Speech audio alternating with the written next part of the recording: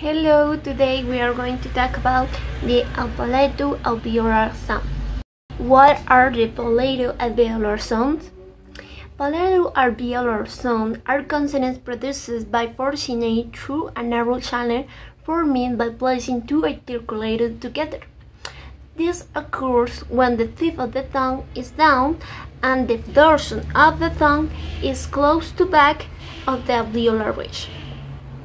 Now, you can differentiate the phonemes S and Z with the professor David Peña. Let's go.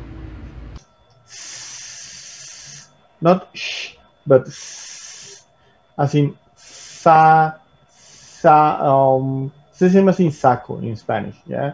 So, Samuel, um, ask, the one between A, S, K, and K is ask um, Pacific, Pacific. And this one is Z, as in zebra, zoo, frenzy, okay, Z, Z, Z. The only difference is vibration once again.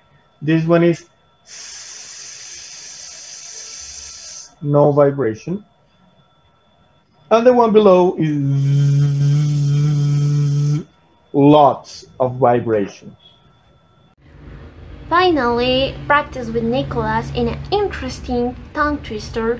Thanks a lot for watching. Bye.